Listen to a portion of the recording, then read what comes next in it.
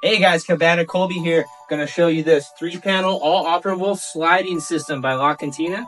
Just gonna go ahead and put these panels all the way over to the right. If you want your entryway on the right and you want your panels and stuff on the left, great option. But wait, there's more. If you want the panel back to the left, for your entryway to be on the right, you can have that option as well with this system. Thank you guys. Have a great rest of the day.